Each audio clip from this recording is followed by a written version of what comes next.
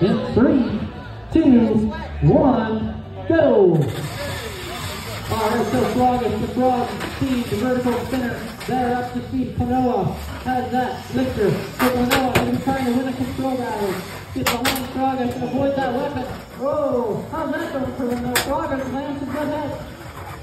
Chip away at that armor of Klonoa. I don't know how many more hits like this they can take. Okay, obvious. Get out there. There you go. Klonoa trying to get a lift in.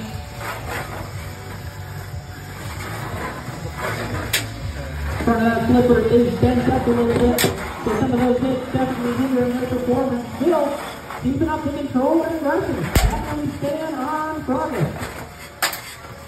I know Frog is maybe having some driver issues, but they're trying to use the gyroscopic protection of that weapon to move around the arena.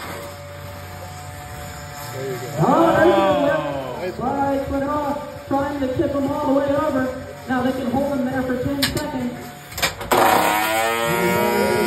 So, uh-oh. Rogged, upside down, can himself right. 10, 9, 8, 7, 6, 5, 4, 3, 2, 1. That is a knockout.